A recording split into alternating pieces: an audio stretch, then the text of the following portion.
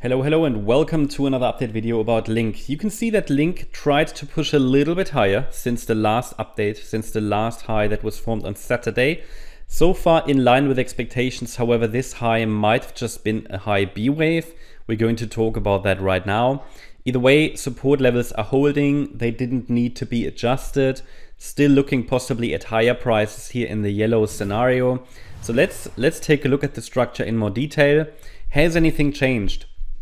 First of all, if we zoom out a little bit, um, the idea is still that this year could have marked, so the low on the 5th of August could have marked the completion of a larger degree wave 2 after a WXY structure formed and the Y wave might have bottomed here on the 5th of August.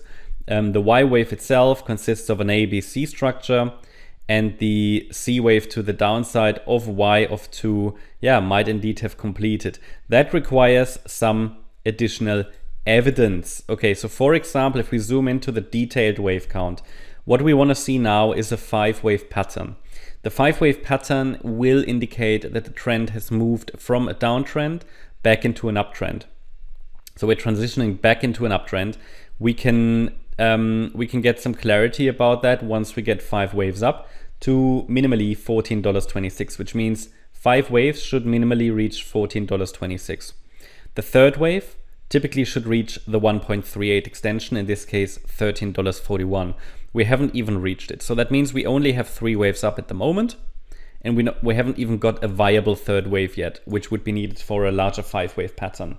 So within these five wave patterns, there are clear, let's say, guidelines. There are certain levels to watch, certain parameters to be respected, and um, the third wave is still unfolding. Okay, so if it breaks down earlier and if we don't hold support, then I would have to assume that a three wave move to the upside already topped and that we're breaking down again, yeah, which would basically stop this nice uptrend. And we, it would mean that we're deviating from that five wave pattern roadmap to the upside. As I said, at the moment we have a wave one, a wave two, third wave still unfolding, then another four, five. We now need to zoom into the third wave and the third wave consists of an ABC structure. So we rallied in wave A, pullback in wave B.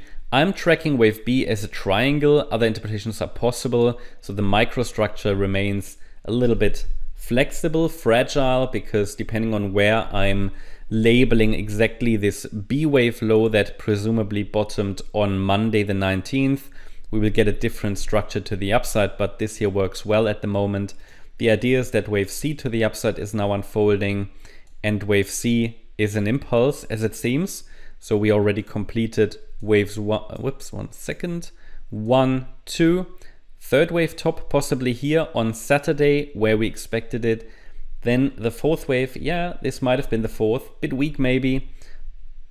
Is this already the fifth wave? Maybe, but it's getting rejected there. So maybe it needs another test of support which we would then call a so-called high B wave, indicating that the rally that happened today, where the price topped around $12.72, 12.70, was just a high B wave. It was part of the entire correction um, in wave four. It was just uh, already trying to break out and failed, okay? So these happen quite frequently if the correction wasn't substantial enough to correct the rally that happened into the Saturday high. But yeah, it's possible wave 5 started already, or it's a high B wave. It looks a bit like a high B wave at the moment. It will surely depend a little bit on what Bitcoin is doing as well. Bitcoin isn't doing much at the moment. I think it's just moving just moving sideways right now, up and down, chopping around a little bit um, without clear direction. So Bitcoin needs to make up its mind. And then we can watch for some interesting movements possibly later today here on the link chart as well. Yep, if the support area needs to be tested again, then it would likely be a C wave. And as long as we're holding the $11.23 level, um, the overall focus could remain on higher prices. Yeah, and 1123 to 1191 are the relevant support levels. If wave C unfolds to the downside, it gets a long wave C, maybe we even test 1153, but that's not absolutely needed.